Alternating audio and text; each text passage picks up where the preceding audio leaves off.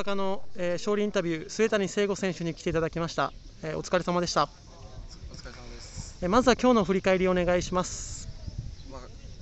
前の試合で入りが悪くないっていう話をしてて、まあ、この試合入りよくしようっていう話だったんですけど、まあ、し先に失点してししまって、まあ、でもそれでもすぐ取り返したんで、まあ、最後、まあ、ウィガー決めてくれて内容的にはあんまり、まあ、負けててもおかしくない試合だったんで、まあ、褒めれるか分かんないですけど、まあ、勝て勝ちきれたことはすごくポジティブに捉えた方がいいなと思います。ありがとうございます、えーまだ戦いは続くかと思います、えー次の試合に向けての意気込みをお願いしますまあ、自分としてまた結果が出せないのでで自分が点を取ってチームを勝たせれるように頑張りたいと思います。はいありがとうございまありがとうございすました。